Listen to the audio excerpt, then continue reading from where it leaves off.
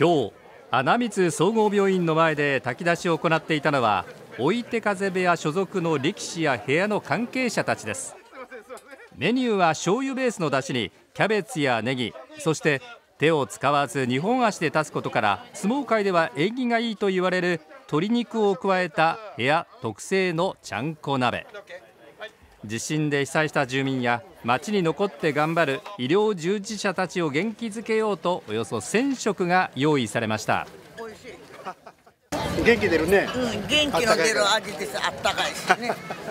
うちも少し壊れたからあの元気出してもらおうと思って袋に来てよかったです。本当よかったです追手風部屋は追手風部屋は親方と遠藤関が穴水町出身ということからこれまでも合宿などを行っています。今日は遠藤関は春巡業中で参加できませんでしたが同じく地元出身で序二段の大将が参加しました。